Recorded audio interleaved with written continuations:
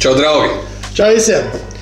Šodien pastāstīsim par 580, bet uh, sāksim nedaudz par 900A no Stonix.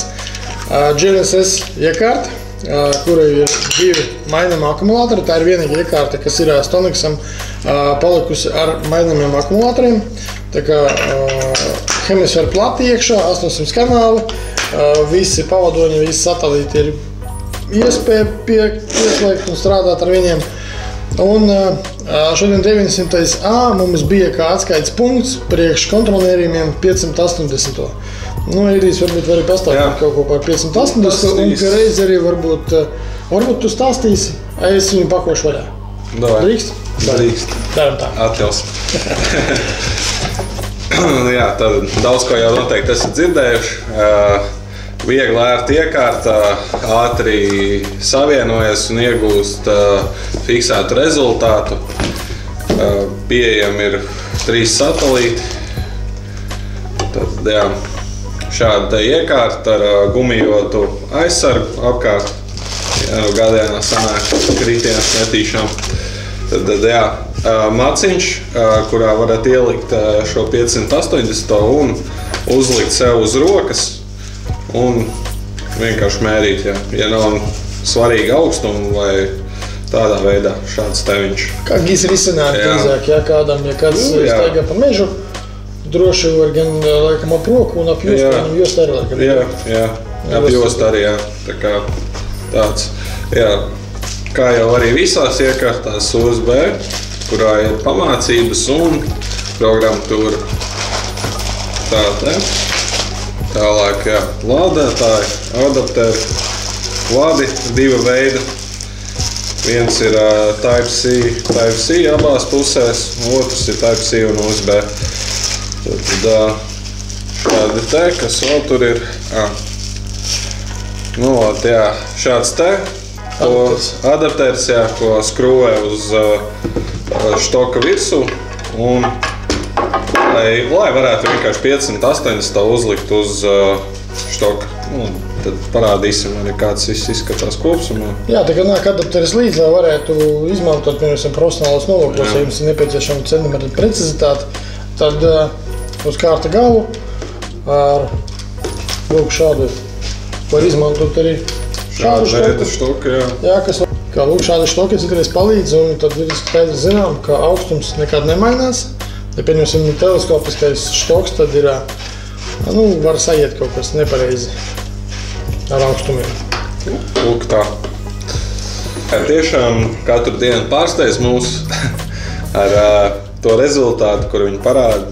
Skatoties video turpinājumu, parādīsim uh, lauku darbus, kur tika salīdzināts šīs divas iekārtas. Uh, S90 ar AMU slīpiem mērījumiem un S580.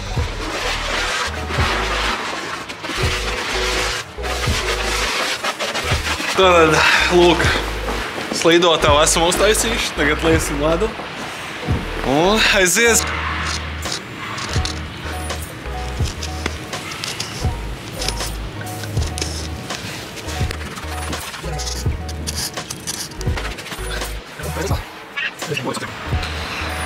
Mierīgi tā.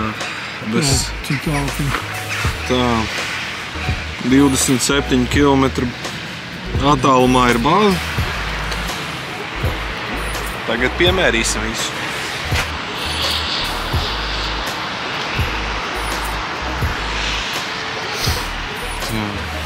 Es varu paņemt. Nē. Saka, ka ir 30. Saku. Tā. Vēl bišķīt. Vēl. Stop. Tagad uh, jāpagaida, kad uh, MU ieslēgsies. Jā, tā stop. Tā.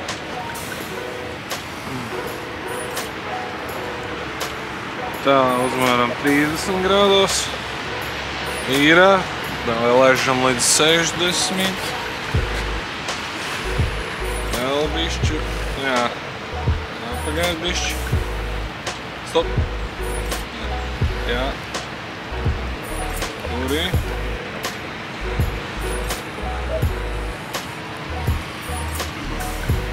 Jā. Ah, es 900 esam uzmērījuši, gan slību, gan taisnu, un tagad ņemsim S580 un skatīsimies.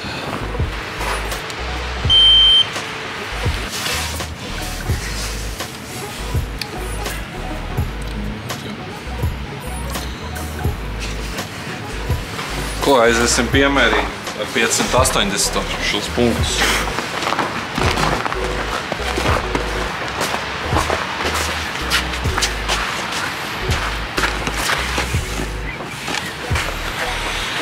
Tā.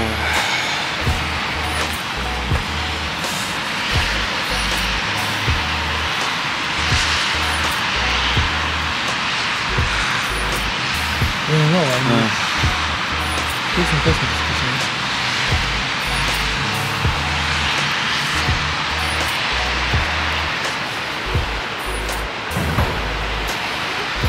Ar 580 pamēģināsim atrast punktus, kurus esam piemērījuši ar S900. Jūs trešā pirmā.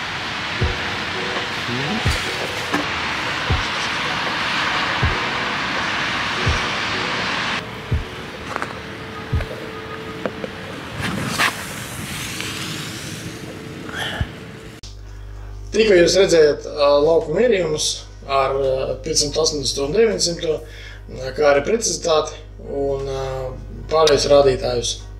Ja jums ir kādi jautājumi, rakstiet komentārus. Paldies par jūsu uzmanību! Tā! Tā.